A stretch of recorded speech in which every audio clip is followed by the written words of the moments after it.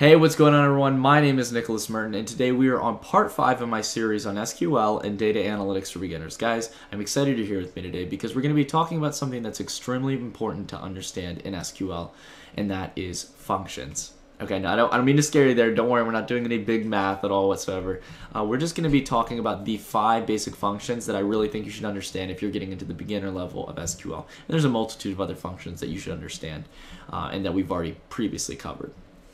So, uh, what are these functions and what can they do for us? Well, I'm going to be specifying uh, kind of two categories of functions, and in each category, uh, they have their respective functions. And the first one, uh, I want to teach you guys the count, the average, and the sum function. And in the other category, I'm going to talk about the minimum and maximum functions. Now, you might already understand, you know, what these are entailing to and what they're going to do. However, I'm going to give us some practical scenarios where we can apply um, these functions and really get useful information out of it.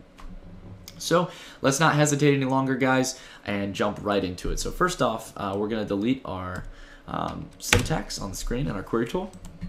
And I also want to reiterate real quick that if uh, you guys are curious about the data you need, it's the exact same from the last episode. So if you haven't changed anything, we're good to go. All right. So in this case scenario, we're going to try and use the count function. And let's say, for example, we wanted to get not a list of the companies we work with, but a specific row that entails the amount of companies we work with on the distribution side. So literally just an integer. Well, how do we do that? Well, we can use uh, our normal select statement.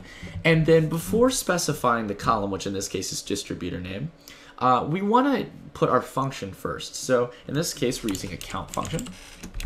And then next to it, you're going to put the column you want in commas, or sorry, commas, uh, parentheses. So in this case, uh, we want dis underscore name. And then we're going to specify what table we want, which is dis underscore channels.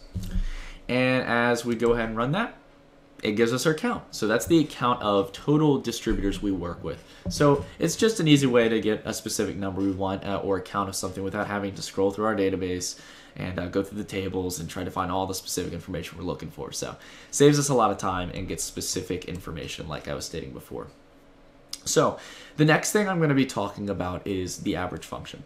So let's say, for example, uh, we're looking at our units sold and we're saying, you know, we got all these different numbers uh, in our units sold. Sometimes we have smaller clients, sometimes we have larger. You know, what's the average amount of units we sell uh, in any given order? So Here's where we can use the average function for a very uh, uh, finding a very useful number like the average amount of units sold.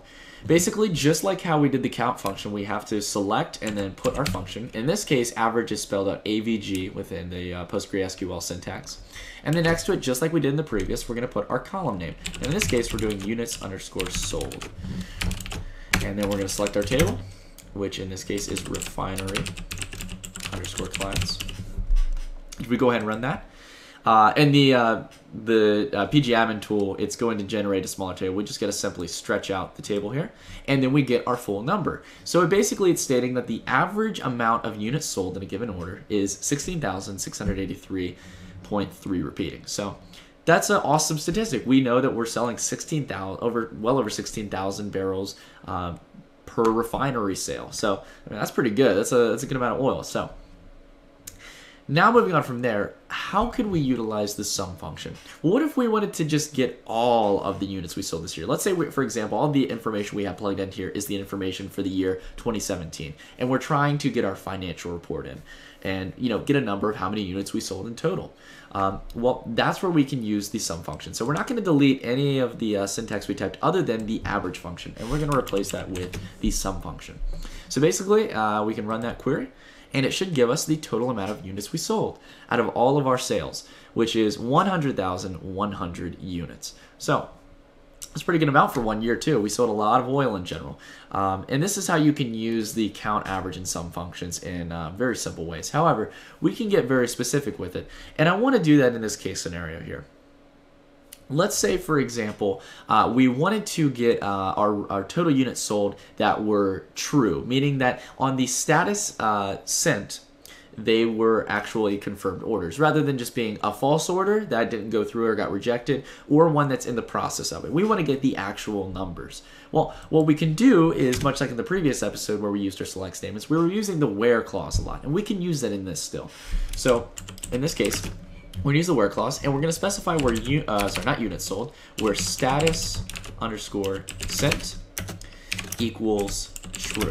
So basically what this is saying is that the only, um, the sum overall, we want the sum of all of the uh, units sold where uh, the status sent is true on the row. So let's go ahead and run that. And there we go. So our number got cut down a lot because we have a lot of orders that either, one that got rejected, I think, and then also two of them that were left blank. So in this case, we have all of them that equal a true confirmed sold order. So that means they've been sent and it's not a problem for us anymore. We've cashed out. So 32,000 units, not bad. So now from here on out, we're going to be talking about two last functions that I want you guys to understand, which is the minimum and max function.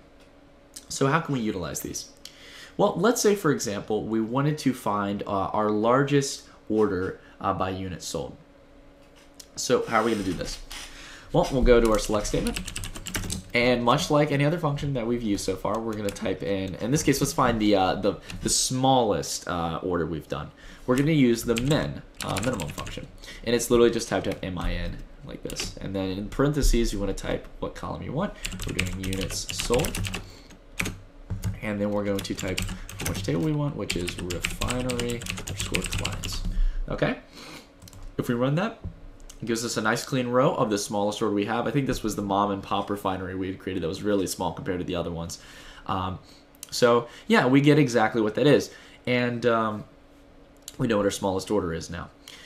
And then we can also, now like I said too, we can use the where clause in this as well, and we could specify what's the smallest one that has been a, a confirmed order, um, rather than just all of our orders in general. And then the max function works much like the same, so much like how I did with the uh, average to sum function, uh, we're just going to go ahead and replace this with max, which is the maximum. And as you guys probably can already know and predict, it's going to be 50,000. It's our largest order. So this is, uh, like I said, the bare bones way of how you guys can use functions. You can get very specific with it. You can use the where clause to be a little more specific, uh, specific about what you want. And um, yeah, there's a lot of cool ways that you can use these functions. And these are probably the essential ones you have to understand if you really want to start working with uh, tables and databases. So anyways, guys, that's it for the video. Um, in the next few videos, we'll be covering a little bit about the SQL syntax and going over uh, some of what we know, but at the same time talking about a lot of the uh, um, terms that you should know in the sense of value types uh, and value constraints. So anyways, guys, uh, that's it for the video, and I appreciate y'all, I appreciate y'all sticking around, and I will see you in the next one. Stay tuned.